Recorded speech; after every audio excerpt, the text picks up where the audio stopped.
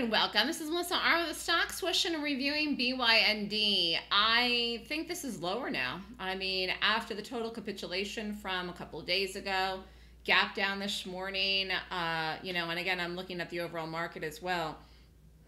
I mean, I think that this stock is, is going to have some drift off in here that could continue past the last couple days and past today. So it'll be interesting to see. But the stock can really, really move pretty big. Now, it has not moved that big today. It's trying to hold this 150 area.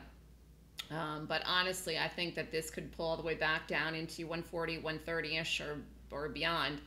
Um, and that would be underneath this, well, this original point. Yeah, the open here. So 130 would be the target for this drop off. Again, I'm not saying that happens today, but I'm saying this definitely, definitely, definitely could happen in the next couple of days because there was some negative news that came out and the stock gap down. So I mean, this has been very volatile to trade, whether you day traded it, whether you did options in it. It has been wild, it has been whippy. Um, but long story short, you know, it's had a lot of good bullish moves in it. It really, really has. It's had a lot of good playthrough, and particularly if you do this as an options, it's it's just had some monster moves in a very short period of time.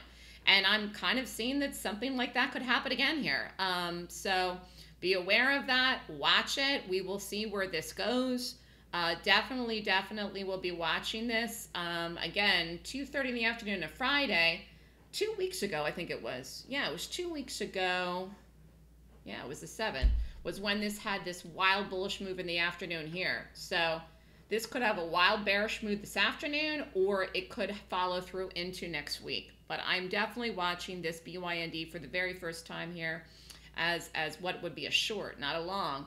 Um, let's see where she goes. Anyways, good luck everyone. And if you're interested in the next Golden Gap class, email me at melissa at thestockswoosh.com.